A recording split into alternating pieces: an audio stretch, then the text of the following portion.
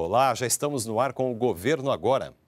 O presidente Jair Bolsonaro sancionou o auxílio de 600 reais para os trabalhadores informais.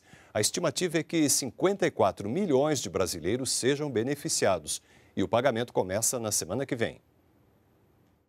Eu assinei ontem, estava dispensando outra medida provisória, porque não adianta dar um cheque sem fundo. É tem, verdade. tem que ter o crédito também. É Tá todo vapor. Vai, a semana que vem começa a pagar. Trabalhadores nascidos nos meses de janeiro e fevereiro que fizeram a opção do saque aniversário do FGTS já podem receber o pagamento. Nessa primeira etapa vão ser destinados quase 900 milhões de reais. Esta estudante mora na Argentina e vai receber uma parcela de aproximadamente R$ 2.500 do saque aniversário do FGTS.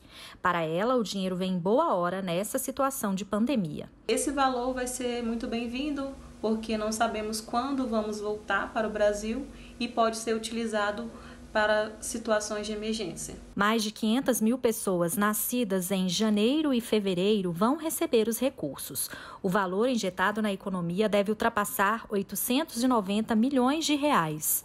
Os valores sacados variam de acordo com o saldo da conta do trabalhador. Por exemplo, quem tem mil reais de saldo total vai receber 400 reais, correspondente a 40% desse valor, mais uma parcela adicional de 50 reais, totalizando 450 reais. Quem ainda não optou pelo saque aniversário deve ficar atento ao calendário da Caixa Econômica.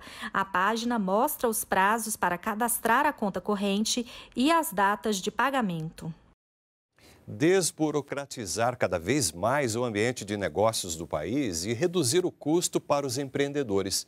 É o que promete o novo aplicativo desenvolvido pelo Serpro. A ferramenta vai possibilitar abrir uma empresa, fazer alterações de registro de uma já existente e qualquer outra operação, sem a necessidade de um contador ir presencialmente a uma junta comercial. O aplicativo desenvolvido pelo Serpro permite o uso da biometria facial pelo celular para validação da identidade, alternativa que dispensa o uso do certificado digital. Isso vai facilitar muito, vai reduzir custos e vai fazer com que as pessoas tenham mais acesso aos serviços públicos à distância.